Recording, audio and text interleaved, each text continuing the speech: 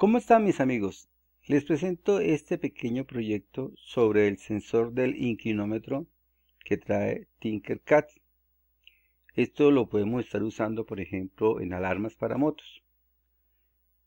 Es solamente el funcionamiento básico, ya la aplicación real sería un poco diferente.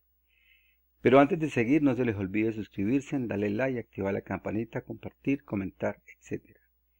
También voy a dejar el código en los comentarios para el que lo, que el que lo desee copiar me esté regalando un dólar por el código.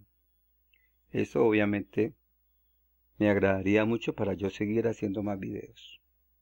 Bien, veamos cómo funciona. Vamos a iniciar la simulación.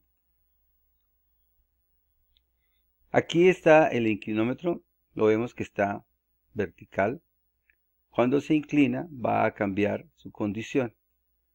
Podemos observar que el voltaje baja a 2.17 milivoltios, a 217 milivoltios y nuestro LED se apaga. De esa manera podemos hacer nosotros que nuestra alarma se active. Podemos cambiar el software para que el LED se active cuando se inclina o que esté activo cuando no se inclina.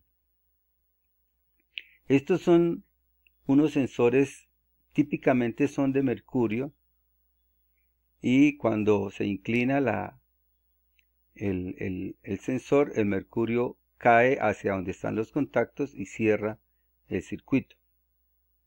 Veamos el código. El código en realidad es muy sencillo. Tenemos simplemente una variable que llamamos LED, que es la que vamos a encender. Una variable que llamamos TIL, que es la que vamos a censar, la que va a censar nuestro. Otra que llamamos estado, esto se usa es para mostrar en el monitor serial cuál es la posición del sensor. Y el programa simplemente lo que hace es, ah bueno, antes el setup, pues configuramos em, el LED, el, LED como salida, el sensor como entrada y la comunicación serial.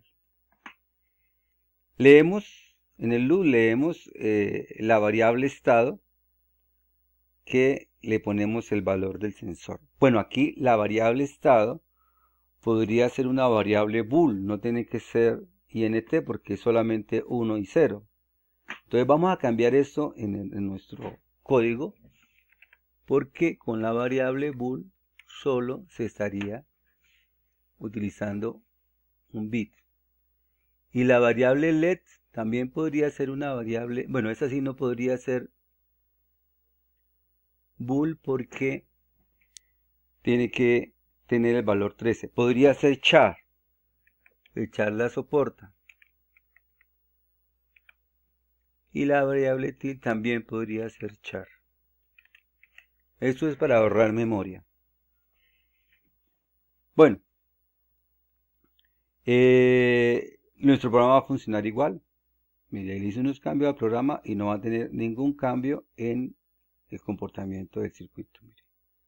Exactamente igual lo que estoy haciendo es ahorrando memoria.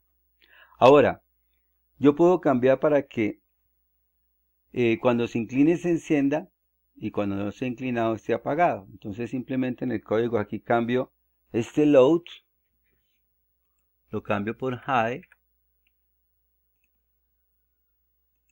Veamos. Y este high lo cambio por low. Si vemos, entonces ahora aquí está apagado cuando está vertical y cuando se inclina se encienda.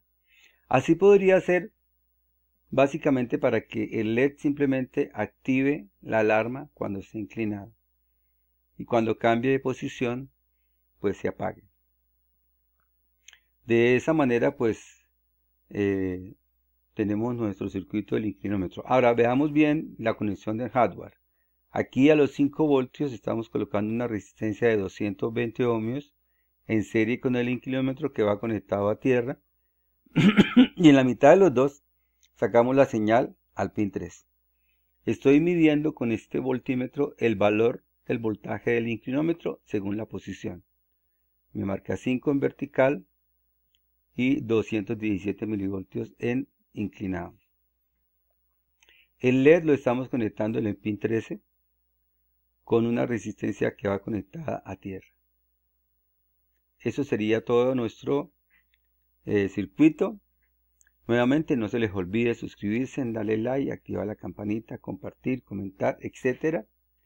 Y voy a dejar el código en el comentario para que el que lo quiera lo pueda tomar y me esté dando un obsequio de un dólar por el código. Muchísimas gracias y hasta luego.